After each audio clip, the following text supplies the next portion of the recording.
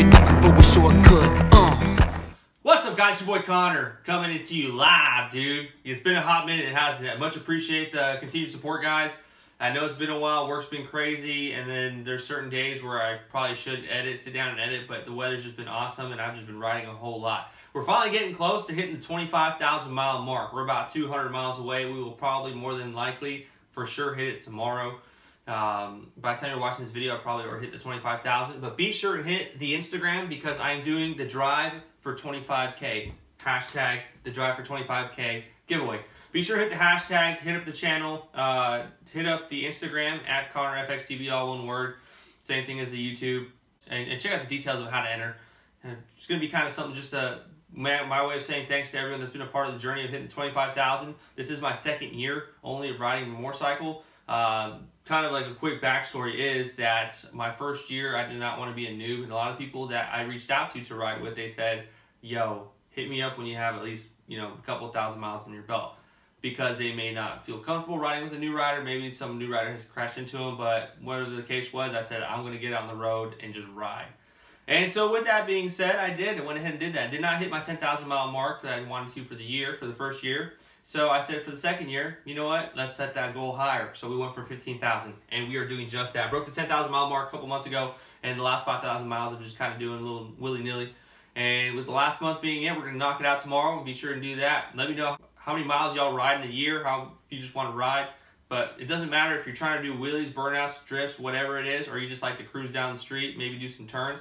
Just get out and ride, dude. That's the main thing. Get on two wheels, love it, live it, everything. But anyway, coming back, let me say a couple huge thanks to some companies that have been really helping me out, you know, supporting the channel and just overall great people. First, let me go ahead and give a shout out to Larry Mills and DP Brakes Racing. They went and supplied some clutch discs as well as brake pads for the Dyna. They're coming on board as for the HD Collective as a sponsor. Uh, initially just sponsoring my bike and then depending on how it goes, we're to go ahead and throw some more stuff to the other bikes. So huge thank you to Larry and DP Brakes Racing. I met them over at the Las Vegas Drag Special Dealer Ride, as well as Nick and Jeff over at Trask Performance. Go ahead and hit the drop down menu below. Their links are down there. Nick and Jeff were super kind. You know, they answered a bunch, bunch of my questions, shot the shit. Overall, everyone that I met out there was awesome. And then with that being said, touching base on Las Vegas, James, again, huge thank you for allowing me the opportunity to come out with you at Memphis Shades as part of the HD Collective. Again, you've done a whole lot, and I'm much appreciate it. And then just seeing behind the scenes of what the industry does was awesome. I met a lot of cool people. Met guys from Revzilla, met Mike from Get Lowered, uh, met Daryl from Bassani, met the fueling guy, saw Holden's bike, uh, Bear Stunts. I mean, I saw a bunch of people. I was fanboying like a mother effer.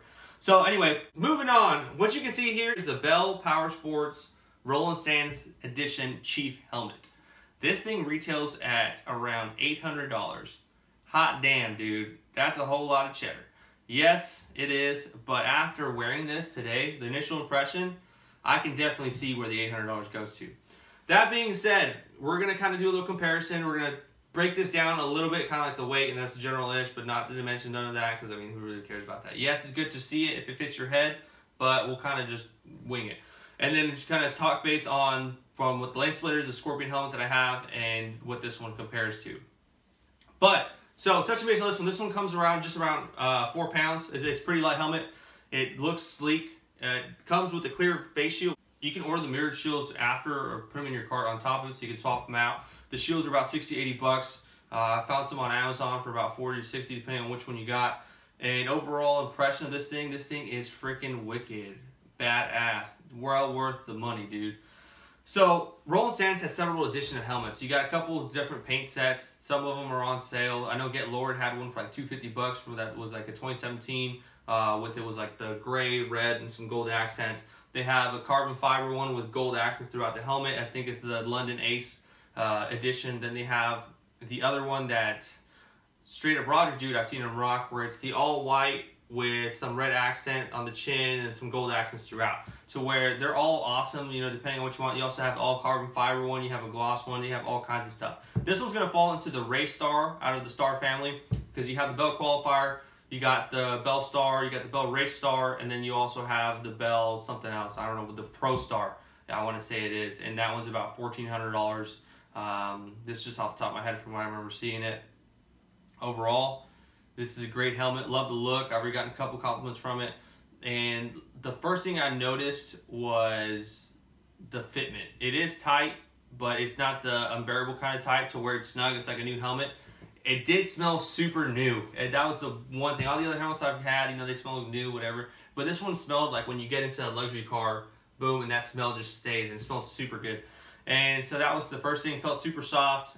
And as for the tightness, it was pretty tight around my cheeks. I wear a size large. This is a large. Fits true to size. The only thing is it does feel like a brand new helmet to where everything's super tight. I even had my sunglasses on, but I had to take them off after about an hour riding because since it was so tight around the temples and the glasses pushing in, it gave me a bit of a headache. So I went ahead and removed them, gave myself a break, put them back on. But then again, within 40 minutes, the headache came in to where it was just too much pressure. So I went ahead and removed them. Going to break it in. The only downside to what I'm seeing on this one is that it does not have a cutout for the Sena system because it does have a small cutout for your ear to fit through so that way it's not squishing your ear but that's pretty much it. Other than that, it's going to be the actual shell. They have their technology, which is kind of like a rotating to absorb as much impact and keep your head safe and protected. And then it's the, the cushion and the foam.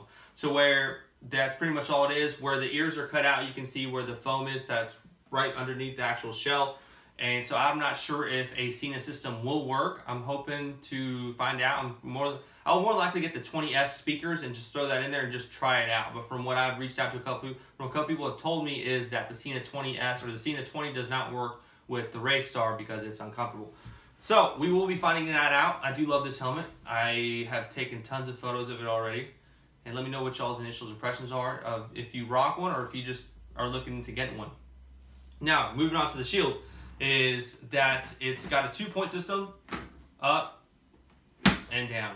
You can lock it. Uh, but that's pretty much it. I have gotten used to running with pretty much open shield with the lane splitter is pretty much how I run it all the time. I like that helmet, it's comfortable, but whenever you run the open shield, there's a lot of wind buffeting. It's just like that, so you have to close it. And it's it's a little warm, and with this one, I was kind of like, oh man, you know, I'm used to my Scorpion and the lane splitter. The Scorpion is probably the hottest one I have with everything closed, and I really like to run it open. But with the Scorpion, the visor open is not conducive, it makes a lot of noise. I say, okay, nope, so I close it halfway. With lane splitter, I just rock completely open. This one, that's with since I'm used to the other helmets, I was like, man, it's gonna be uncomfortable, it's gonna be hot. Nope, it is not. Uh, I like it, super comfortable, breathes really well. I felt a little bit of forehead sweat uh, when I was riding, but I felt a lot of wind going through it, so that was good. Um, it was about 80 degrees today as our high, maybe 78. And so it's got lots of venting. You got top vent, uh, chin vent, and you also have a back vent. It's pretty aggressive styling. It's just overall awesome. I keep on saying that. Like I'm super impressed with this helmet, just because one, it looks super awesome. It looks amazing, and two, it's kind of like one of those things that you wanted for a while and you weren't sure you were gonna get it, and you finally get it. Yeah, dude. Because I love this back end. It just, it's awesome. I'm, I see there I go again. I just really like the way it's styled. It's kind of like a high side in the back. And as for aerodynamics, let's touch base on that. That's where I was really impressed. Some of the people say this is kind of, um, you don't need the race star. A lot of people opt for just the star because they feel this is kind of a racetrack helmet. Kind of like the Pro Star. The Pro Star, the way it's styled, is going to be for a certain type of riding where you're kind of hidden behind the cowl and have all the air going over, over the top of you. And so I was kind of curious about that with this one. I've seen a couple of reviews where they say that same thing, but literally it's a cruiser helmet. It, I mean, you can also ap, uh, adapt it to maybe some track days if you want to start getting into that. If you own a couple of little speed bikes or some sport bikes and you want to do all, or take your Harley to the track. That's how I feel about it because I was riding normal style, just relaxed on top of my, I have uh, 13 inch T-bars. I just ride pretty much just like this, relaxed, like that, whatever. And it was different it was to where I felt like I am sitting now, but except going 78 miles an hour. I turn my head, everything would just run off of it. Turn my head the opposite way, run off of it. I'd be doing all kinds of stuff. And the the way it deflects the wind is just amazing. Compared to the lane splitter, that's where I would going to be the comparison between those two. Is because the lane splitter, when I have the visor open, there's a lot of draft hitting, there's a lot of head turbulence. And once I close it, it's better, but there's times where I'm going to work and I'm doing the same speed, 70, 80 miles an hour, and I feel my head kind of moving a good amount. It's pretty loud compared to this one. This one, on a scale of 1 to 10 on loudness, I would say it's a 4.5 to 5 in the city. Highway, it gets a little, maybe 5.5, pushing 5.8. It's not quite a 6 to where it's, it's, it's a quiet helmet. but it's not quite on highway uh, to where you can hear exhaust, you can hear wind, but it's not bothersome. I do want to try to the Shoei RF 1200, just kind of give a, uh, a nice comparison between the two. Overall, on the helmet styling, 10 out of 10. Uh, the visual acuity, or just the overall field of depth, field of view. Field of view, I'd give 10 out of 10. I mean, it's pretty much like you're not even wearing a helmet. Comfortable, 9 out of 10. Oh, no, you know what? On comfort, I would say 7 out of 10, mostly just because right now I'm still breaking it in and it's a little tight, but hopefully with a couple weeks, then it's just perfect. And I'll probably push it to 10 out of 10. Pricing, it's a little high up there. I'd probably put a 6 out of 10 just because it is great to have a helmet that's going to, you know, provide more protection from you, uh, for you. Because certain helmets, I feel that they, while they do protect your head for the no helmet, and certain high impact crashes, I feel this one may provide a little bit better protection. As for the packaging, it comes in this box, which comes with a bag inside it, which in turn holds the helmet.